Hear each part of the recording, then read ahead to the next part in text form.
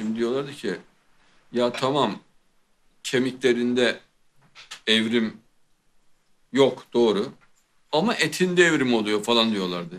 Bak artık oryantal tarzı açıklamalar böyle. e o zaman dedik size amberleri göstertelim. Al sana 200 milyon yıllık çekirge. Olduğu gibi duruyor. 100 milyon yıllık karınca olduğu gibi duruyor. Ne diyorsun dedik? Zınk diyor. E yani olacağı bu. Olacağı bu. Arıların bacaklarındaki polen toplama kesesinden içindeki polenlere kadar duruyor. Tüycüklerine kadar. Tabii ya. Yani arı blok yani ence detaylarına kadar.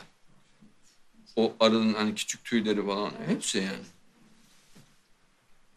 Siz daha iyi bilirsiniz inşallah. Bazı çiçek türlerinin DNA'sı ile ilgili bilgi de elde edilmiş amberlerin içinden. Tabii ki. DNA bile, o, o bile duruyor tabii. Sadece teori adı üstünde. Hiçbirinin ispatı yok.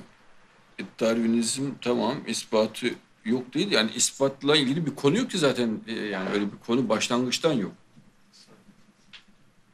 Yani adam çıkmış her şey tesadüfen oldu diyor. Olabilecek en berbat açıklama. İnsanlar nasıl oldu tesadüfen diyor. Bitkiler nasıl oldu tesadüfen. Hayvanlar tesadüfen. Kainat nasıl oldu bunlar da tesadüfen diyor. Ya her yerde matematik mühendislik var. Müthiş bir sanat var. Her şey altın oranla yaratılmış. Muazzam bir geometri kullanılmış. Yani kromozomlar, kofullar nefes kesici. Ya bilimsel olarak tesadüfen olması imkansız bir proteinin. Sırf bir proteinin bile olması imkansız. Darwinistlere soruyorlar nasıl olur diyorlar. En uç adamına soruyorlar. Yani en bilene. Protein nasıl oluyor? Adam düşünüyor düşünüyor. Uzaylılar yapmıştır diyor. Başka bir açıklaması yok diyor. Tesadüfen olamaz diyor. E peki bu durumda siz daha neyi soruyorsunuz yani? Neyi anlatıyorsunuz? İki fosil örneği gösterebilir miyim? Evet.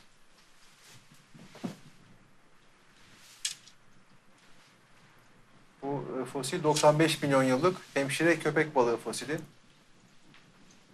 Günümüzdeki örneğiyle hiç bir farklı değişiklik yok. 95 milyon yıllık. Bir daha söyle. 95 milyon yıllık hemşire köpek balığı fosili. 95 milyon yıldan beri değişmemiş Hiç fosil. Evet.